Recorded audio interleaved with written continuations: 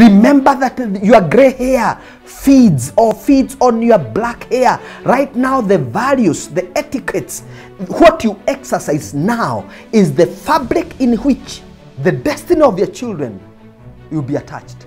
A right is a right, even if no one is doing it. And a wrong is a wrong, even if everybody is doing it. For you who are doing things the right way, you'll have something to pass on to the next generation. Yes, welcome to the Wisdom Talks. I'm Joe Wisdom. And uh, behold another day that the Lord has made. We are all grateful. We are grateful to God. Father, we thank you for allowing us uh, to speak to the people by your divine grace that you have imputed in us. We are so honored that we are coming to you as Wisdom Talks. Uh, we want to revisit of what we did the last episode, and we are talking about wisdom for parenting. And we say that in parenting, parenting is a divine responsibility. Every parent should know that parenting is a divine responsibility. It is God who have entrusted us with the parenting responsibility. God knew that we are well able. God doesn't see you as a weak parent. God knows that you have what it takes. If He knew you are weak, He could not have allowed you to conceive in the first place. He could not have allowed you to be fruitful in the first place. So you are fruitful and you are productive because God has given you that ability.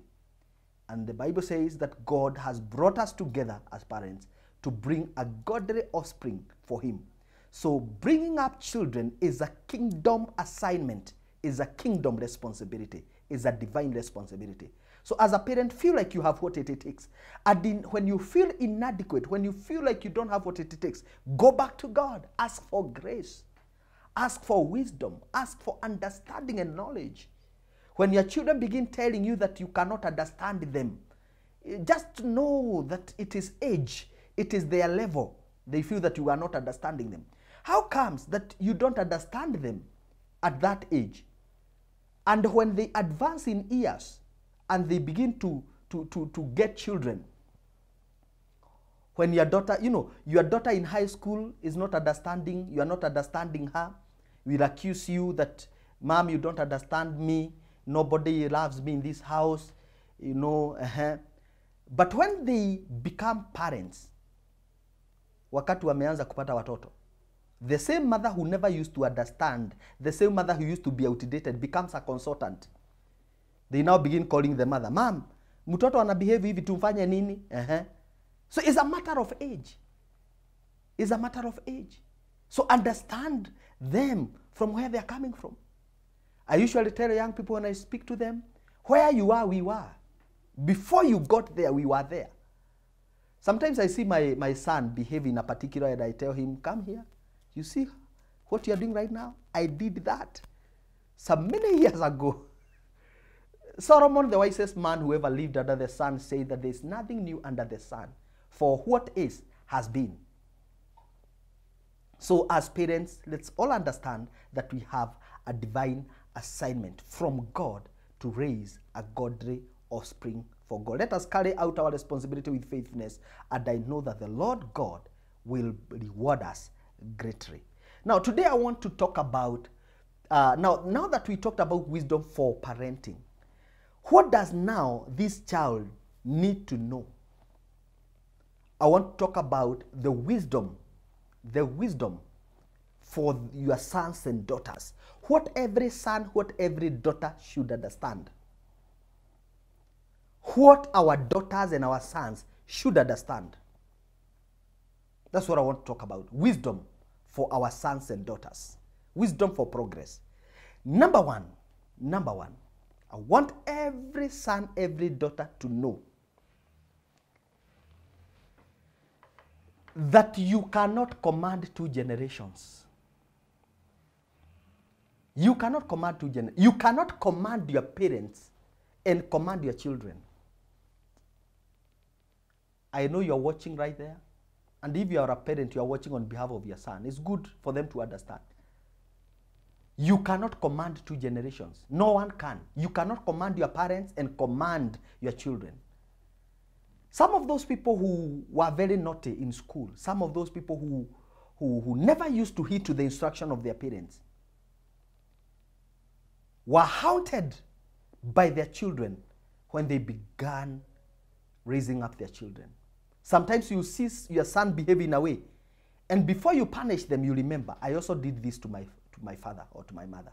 Because what comes around, what goes around comes around. Life is an echo, it gives you back what you have given to it. And that is why you find someone like uh, someone like David, you know,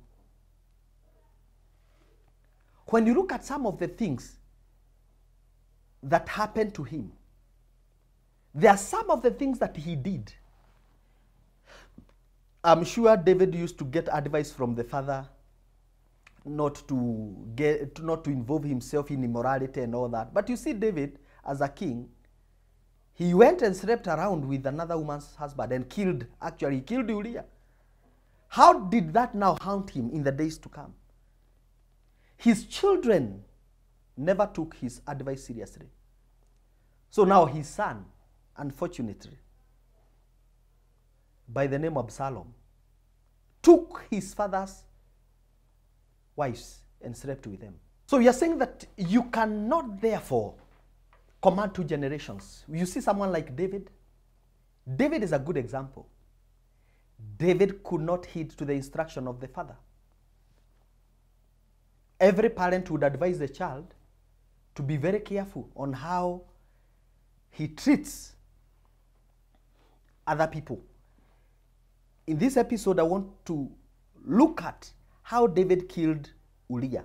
There's no any single parent who advises his children to go killing others or taking other people's wives. So David took Bathsheba, slept with her, and killed the husband Uriah. Later on, we see David's son Absalom getting into his uh, into uh, uh, his son Absalom getting his father's wife and sleeping with them in front of all the Israel. Actually, he slept with them in the balcony, in, in, the, in the rooftop of, of the palace. Because what goes around comes around. Have you, can you also remember Jacob who lied to his father? Jacob lied to his father to receive the blessing instead of Esau. What happened to him? He was also lied to by his sons. When they came with the coat of many colors full of blood, and they said, This is the coat of, our, of your son Joseph, and he has been killed by wild animals. They lied to his father because the father lied to his father. So you cannot command two generations. So you cannot command two generations. You cannot command your father and command your children. And we have seen how Jacob lied to his father. He lied to his father to receive the blessing instead of Esau. Later on, the same sons, his sons, came and lied to him that Joseph was dead. Yet they had sold him to the Ishmaelites. What I'm saying is be careful as a son, as a daughter, what you do to your parents. Because what goes around comes around. Life is an echo, it gives back what you have given to it. There are some things that are happening to parents right now, and when they look at it, they can trace. They can trace some traces. They can see some traces of what they did when they were growing up. So I would kindly ask for us, even us, because we still have parents, the way we do, the way we carry out ourselves out there. When we become parents, you begin to honor those who parented you. Parents are powerful. It's good to honor them. Actually, the Bible says that honor your father and mother for two blessings. Number one, for you to live long in this life and that it shall be well with you. So when you honor them, number one, there is a blessing of long life. Number two, it shall be well. It shall go well with you on the surface of the earth. To so many people, it is not well with them. Why? Dishonor. Dishonor to the parents. Even the way you respond to them. Sometimes you see your parents calling you, and all that you respond is, angalia hao tu ni kunisumbua, wananisumbua. Unataka wasubue nani? I know to some parents, some, sometimes we push too hard. But even if you don't have to agree with them, you must di- disagree in honor. You must disagree in honor. You must not show contempt. You shall not be, you, you must not be rude to them. Very important. You cannot command two generations. There's a man, I want to give this example, and it was is a story that I've shared of a man uh, who was studying in the University of Nairobi. And it is said that when they, uh, when they went out there, they, had a, they, they, they, they, they, were, they, were- they, were, they were demonstrating on something. And they had this tabia of burning other people's vehicles. So the man went out there and burnt another man's car when he was in the university. Many years later, the same place he was driving along the university. And at some point there was unrest in, in, the, in the university. And he had to leave the car because the boys and the girls there were stoning the students were stoning cars. So he had to leave the car and run for his life. To his amaze uh, to, to, to, to you know to his surprise the same place that he touched someone's car, his car was touched the same spot. And he remembered, when I was in the university, I touched another man's car. It was payback time. So let us be very careful on how we treat others, even as we grow up, as we mature in life. Every child should know that what you are doing right now, you are sowing a seed. You may not see the fruits right now, but in the days to come, life sometimes is so unforgiving that life keep revisiting your past experiences and deeds. So be careful that you don't mishandle those who have gone ahead of you. Be careful to obey and to honor those who have gone ahead of you. As a young man, as a young woman, you need to know that a right is a right even if no one is doing it. A right is a right even if no one is doing it. And a wrong is a wrong even if everybody is doing it. There are places you find yourself and you feel like everyone is doing it. You are in school, you are in high school, you are in college, you are in the university, and you feel everybody is doing it. On weekends, we have to go and, and drink. Why? Everybody, everyone in my room is doing it. A wrong is a wrong, even if everybody is doing it. And a right is a right. Why can't you be that person who remains in your, in your, in your room? doing your studies. The fact that everyone has a boyfriend or a girlfriend doesn't give you a license to do it. If you don't see the need of it, then why engage in it? Be careful on the choices that you make. Be careful. Don't judge a right through public opinion. When you begin to think a right, a wrong is a right because everybody is doing it, you go wrong. And when you think, you when you begin to think that a right is a wrong is a right through public opinion, you go wrong. Don't walk away out of your convictions. Men and women of purpose, men and women of destiny, don't do things out of convenience. They do things out of conviction. You don't do things because everyone is doing it, because it is convenient with you, because parents are away from you. You do things that you know will help you become a better person in the days to come. The other one is that you must be very truthful in your dealings. Be very truthful in your dealings. As a son, as a daughter, be truthful. There are some people who even lie to their parents about school fees. I remember when we were growing up, you know, there are, there are these guys. Kwanza wale watu wa kulelewa na shosho. Nyinyi wale, nyinyi watu wenye those people were brought up by their grandmothers. May God may may may may, may, may the Lord remember you. Ati you could go to your grandmother and tell your grandmother that you need 100 shillings. Ukiulizwa ni ya nini unasema ni ya photosynthesis. God will never forgive you. You go asking your grandmother money and when she ask of uh, how unasema ni photosynthesis. Just because your grandmother cannot understand what photo- photosynthesis is. And she gives you the money.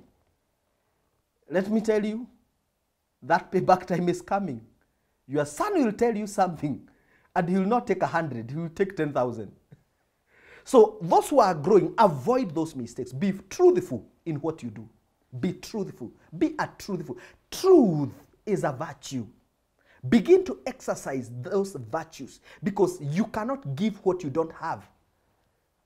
How can your children inherit something that you didn't pass over to them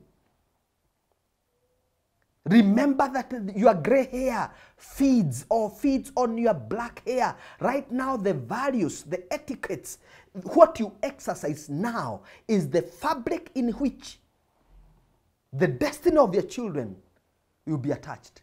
Be very careful on what you do today.